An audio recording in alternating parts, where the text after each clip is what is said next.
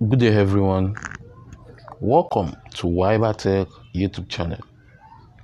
In this video today, I will show you how to upload a Word document to Facebook group.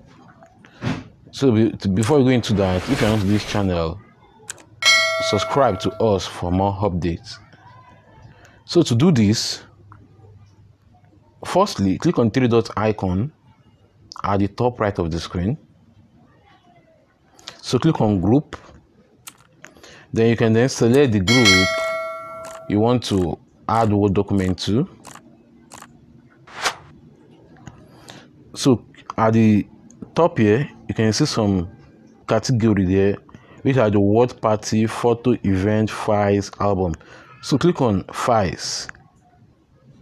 Then Add File. Click here. So you can then select where the file is on your phone. So I'll select where the file is on my phone. Download. Okay, this is the Word document. As you can see, the first one at the top. Word document. Click on it. As you can see, the Word document is uploading to the group.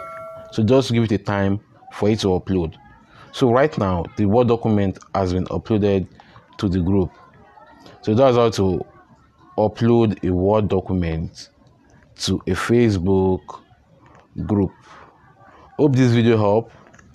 Please give it a thumb up and don't forget to subscribe to our YouTube channel. See you in the next video.